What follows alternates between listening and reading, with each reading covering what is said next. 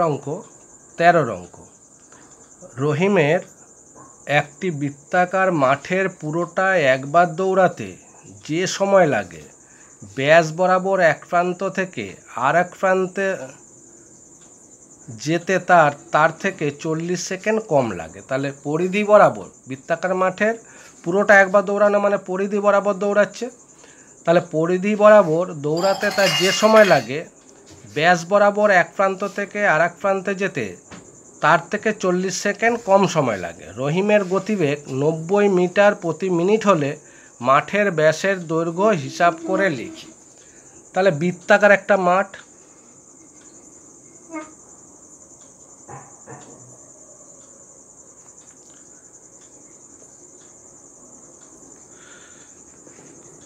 তাহলে রহিম পুরোটা একবার দৌড়াতে মানে এই পরিধি বরাবর দৌড়াতে রহিমের যে সময় লাগবে, আর এই মাথা থেকে এই মাথা, ব্যাস বরাবর, এই ব্যাস বরাবর, তার থেকে চল্লিশ সেকেন্ড কম সময় লাগবে। রহিমের গতিবেগ বলে দিয়েছে, তাহলে মাঠের ব্যাসের দৈর্ঘ্যটা বার করতে বলেছে। তাহলে আমি প্রথমে মাঠের ব্যাসার্ধের দৈর্ঘ্যটা ধরে নিই। তাহলে বৃত্তাকার মাঠের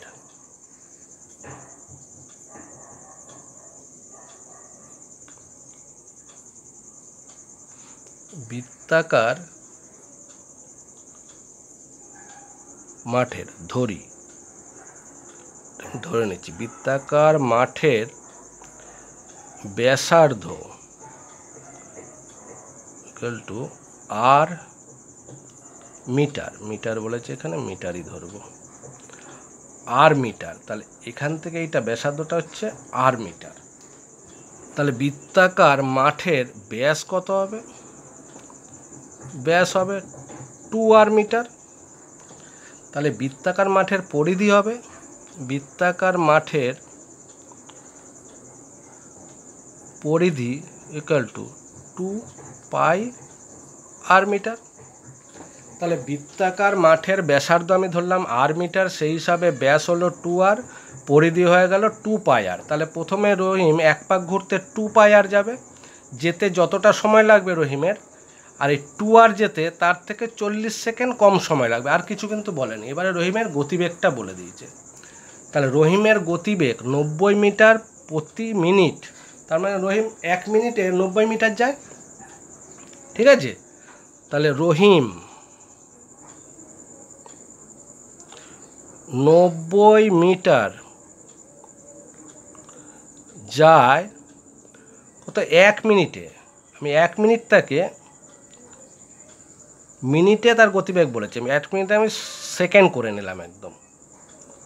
ষাট সেকেন্ডে। প্রতি মিনিটে বলেছে, তাহলে ষাট সেকেন্ডে সে নব্বই মিটার যাচ্ছে।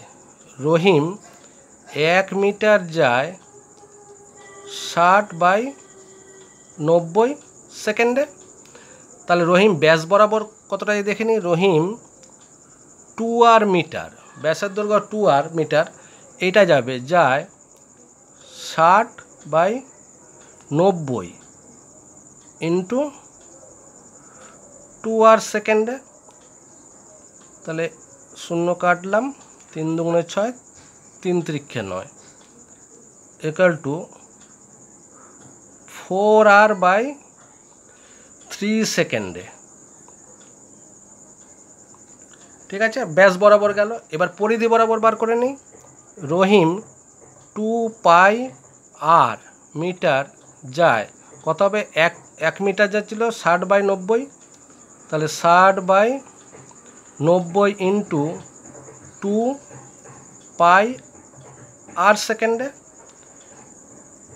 ইকাল টু ষাট বাই নব্বই ইন্টু টু ইন্টু বাইশের সাত ইন্টু আর সেকেন্ডে টু বাই থ্রি এটা হয়েছিল। এবারে তাহলে একাল টু কী দাঁড়াচ্ছে।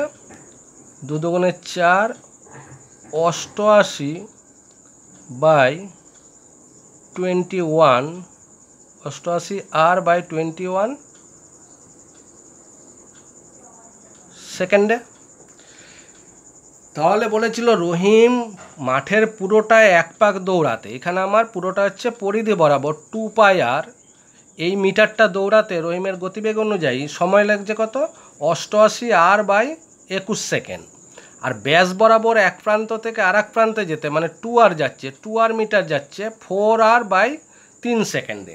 তাহলে এই পরিধিতে যতটা সময় লেগেছিল, আর ফোর ইয়ে ব্যাস বরাবর যা সময় লাগল, দুটোর ডিফারেন্স কত? চল্লিশ সেকেন্ড কম বলেছে, তাহলে এইটা মাইনাস এইটা ইকাল টু চল্লিশ সেকেন্ড। অতএব প্রশ্নানুসারে, সারে অষ্টআশি r by twenty one minus four r by three equal to চল্লিশ। চল্লিশ সেকেন্ড কম সময় লেগেছে। বা টোয়েন্টি ওয়ান অষ্টআশি আর মাইনাস তিন সাতে একুশ চার সাতে আঠাশ আর ইকাল টু ফর্টি। বা আট আট শূন্য দুই আছে আট পাবো ষাট। ষাট r by twenty one equal to forty বা thirty into two r equal to forty into twenty one বা টু আর ইকাল টু আমি এটা সিক্সটি আরকে থার্টি ইন্টু টু আর কেন লিখলাম? আমাকে ব্যাসের দৈর্ঘ্য চেয়েছে আমি ব্যাসার্ধ বার করে পরে আর দুই দিয়ে গুণ করে লিখব না। একবারে ডাইরেক্ট টু আর বার করে নেব। যার জন্য আমি এইভাবে লিখে নিলাম। থার্টি এইটা এটা কাটলো এটা কেটে সাত হলো। বা টু আর ইকাল টু চার সাতে আঠাশ। তাহলে ব্যাসের দৈর্ঘ্য হচ্ছে টু আর মিটার ছিল। আমাকে মাঠের ব্যাসের দৈর্ঘ্য হিসাব করে লিখি বলেছে ব্যাসের দৈর্ঘ্য বার করতে বলেছে। অতএব এই টু আর ইকাল টু আঠাশ, তার মানে আঠাশ আঠাশ সেমি হচ্ছে ব্যাসের দৈর্ঘ্য। অতএব মাঠের মাঠের ব্যাসের দৈর্ঘ্য আঠাশ আঠাশ মিটার ছিল। আঠাশ মিটার এটাই অ্যান্সার ঠিক আছে?